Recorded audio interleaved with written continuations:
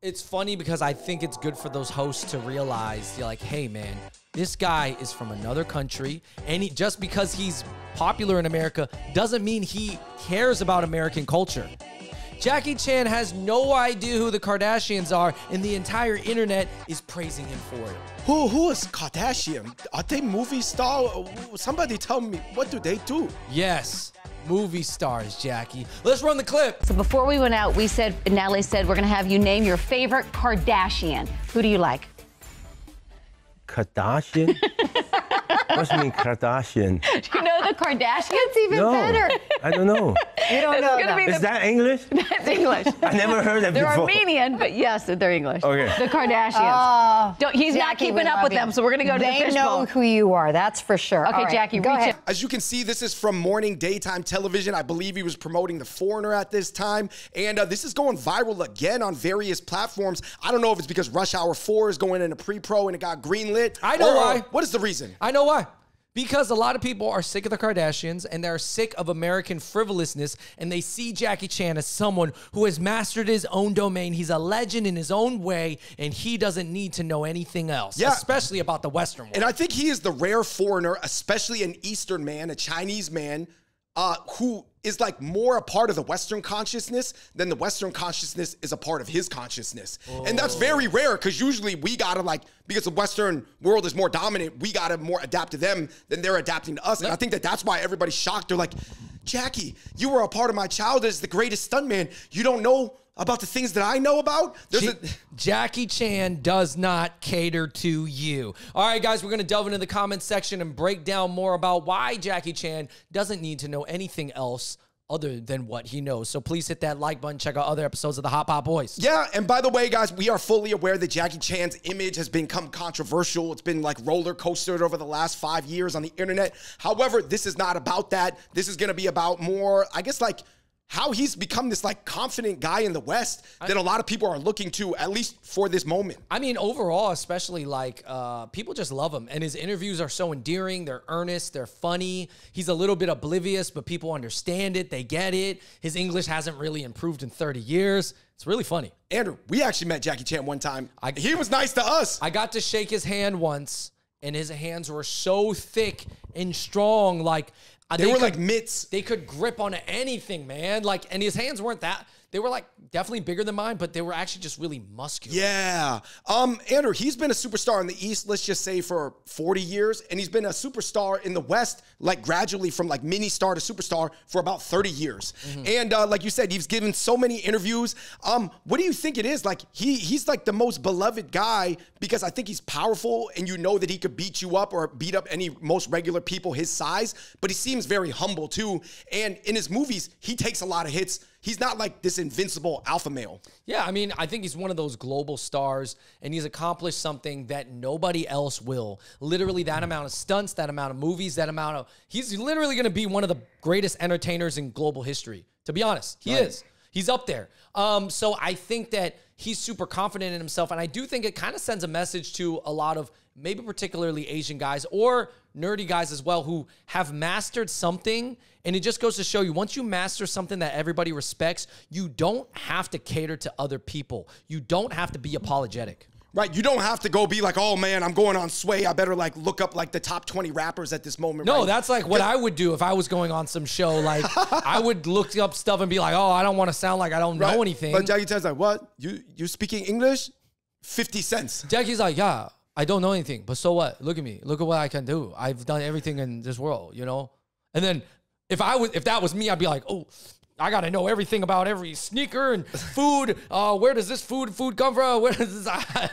I mean, you know what I mean. I Yeah. would, I would feel that pressure too. Anyway, let's get into the comment section, Andrew. Somebody said, My favorite part is when he asked if it's in English, and all the host says, Yes, it is. But it actually, the Kardashian name is an Armenian name, has nothing to do with England at all. Yeah, so it is actually funny that when he said, "Is that English?"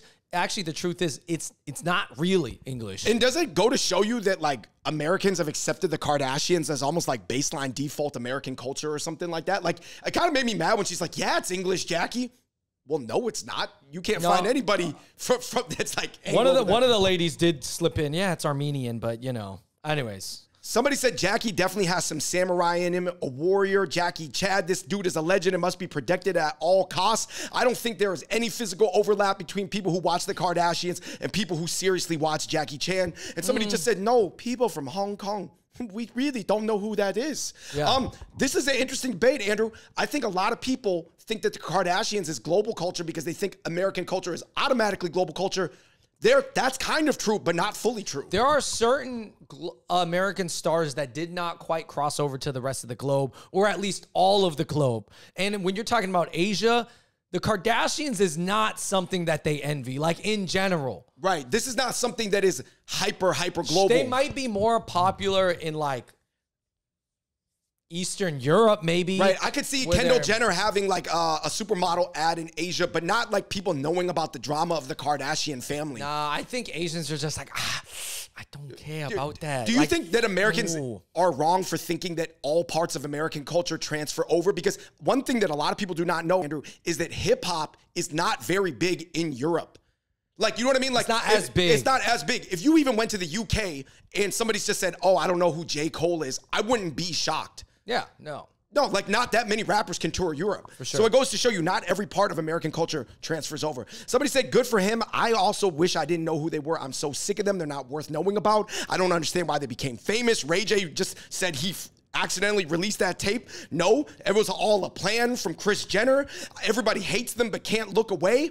I can't believe I was at a training for a call center in America a few years ago. I said I couldn't recognize the Kardashians from each other, and everybody looked at me like I was an alien. That's so stupid. Andrew, what do you think the Kardashians represent in American society? Because sometimes it reminds me of like Jerry Springer with the drama, mixed with Marilyn Monroe. That's uh, Kim Kardashian, mixed with a little bit of like the Kennedy family, as crazy as that sounds, because you're following this like royal, high profile family.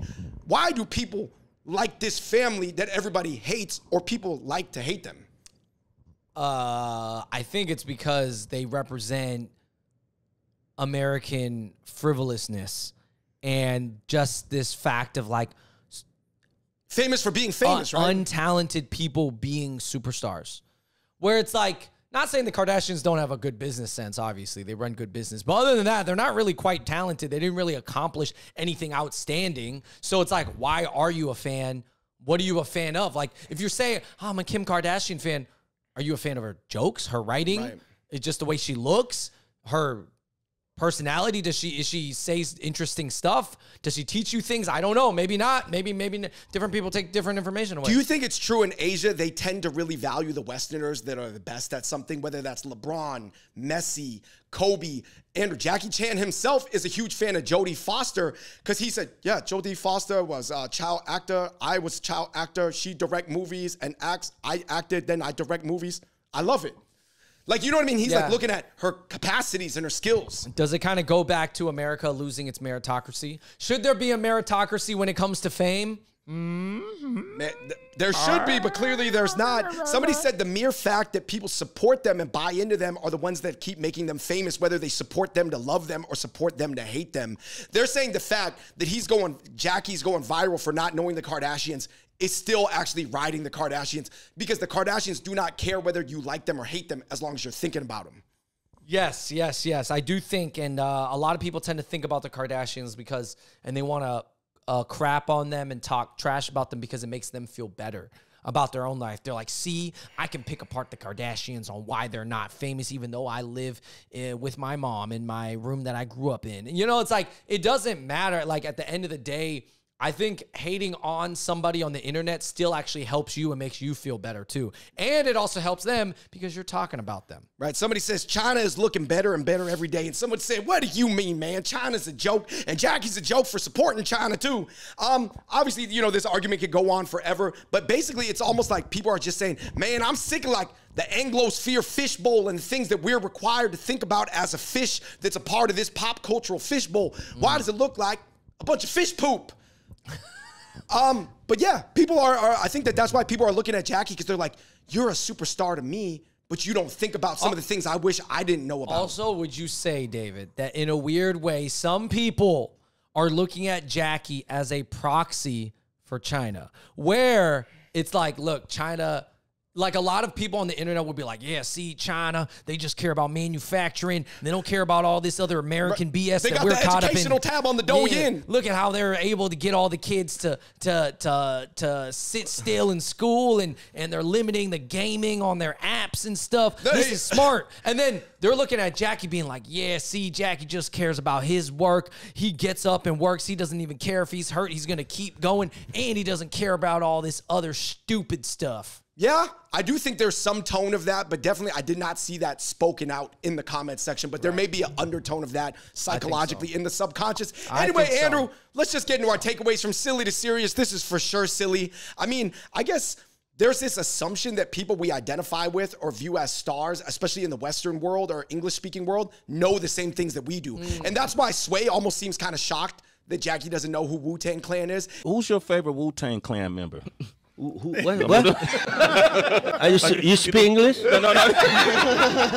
you don't know the, the rap group, the Wu Tang Clan, with the RZA, the GZA, and Method those- Man. Method Man, and all those guys. Tell you- 50 cents. And he and definitely those white hosts are are shocked that he doesn't know who the Kardashians are. But it's funny because I think it's good for those hosts to realize you're like, hey man, this guy is from another country, and he, just because he's popular in America doesn't mean he cares about American culture. But people are not used to that because Right. usually the people who are popular in America try to know everything about America. Exactly. I'm not surprised if you quiz Michelle Yeoh, she probably wouldn't know everything either. She might know a little bit more than Jackie, of course, it makes sense. But ultimately, these people are from a different world and they're just like, you know, like the the globe is my world. You know, I don't have to know 10 out of 10 things in America. Maybe I know 6 out of 10 America, 6 out of 10 here, 6 out of cuz I travel everywhere. And then know? of course I know ten out of ten of my own culture. Right, right, right. Um, I also think it just goes to show you that if you're a master, a actual master at something that people respect, you do not have to cater to them. Right. Like And- Jackie's English hasn't even improved in 30 years. Jackie's English hasn't improved. He doesn't need to know who the Kardashians are or the Wu Tang Clan is, even though he does know who 50 Cent is. Um, he doesn't have to be apologetic about any of it. He's hyper confident. He cannot be shaken. You cannot uh, shake his confidence with anything. Like, how are you going to roast Jackie Chan? Like, really roast him, like to the point where he's like nervous. How are you going to make him nervous? He's jumping from building to building.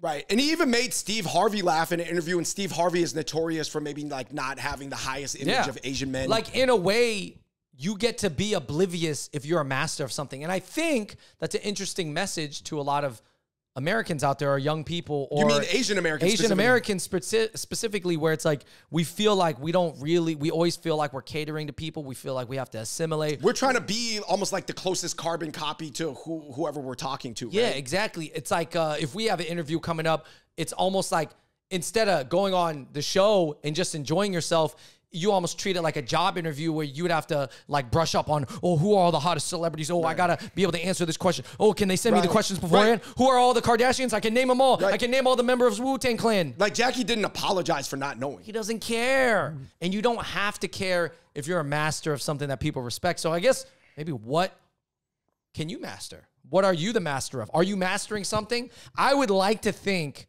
maybe we're not masters of it, but we're pretty close to like understanding a lot of like Asian culture, Asian American culture, For sure, Asian for culture. sure. Now, that's now that's now, our specialty. Now you could say, okay, well, if I go on the TV show and the TV show host doesn't value that you guys are 10 out of 10 knowledge in that field, then I don't have the leverage to act like I don't care about Right. anything. But everybody values what Jackie Chan does, and that's the difference. Yeah. Because he's a stunt guy, he's an entertainer, he can beat you up, he can kick you fast, and he's a seasoned veteran. So And he has an Oscar now. he's a legend, worldwide legend. There's Michael Jackson, there's Michael Jordan, and on that list, do-do-do-do-do, Jackie Chan. Bruce Lee and Jackie Chan are on Bruce. Lee and Jackie Chan. Anyway, let us know what you guys think in the comment section below. What can we take away from this? Here's some other clips from Jackie Chan interviews over the years. Man, honestly, you know, regardless of whatever people said about him in the last five, ten years, he crushed his interviews. All right, everybody, thanks so much for watching. We are the Hot Pot Boys, and until next